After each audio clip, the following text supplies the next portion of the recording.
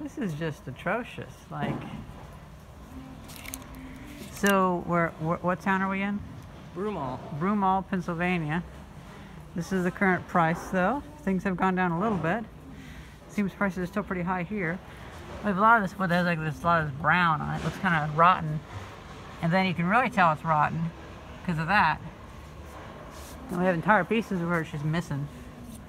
I was hoping to get a piece that'd be nice for furniture, but well, that doesn't seem like it'd really be possible. Seems like this is the best we can get.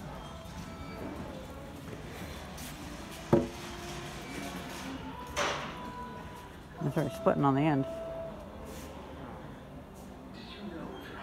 Yeah, that's just not gonna do. But in case others are wondering, here are the other prices for today. I'll just go ahead and get them. 1246 for 12 foot 2 by 6s No good pine, that's for sure. A lot of good pine. A lot of garbage here. 1762 for 16 foot 2 by 6 Here's the prices for these.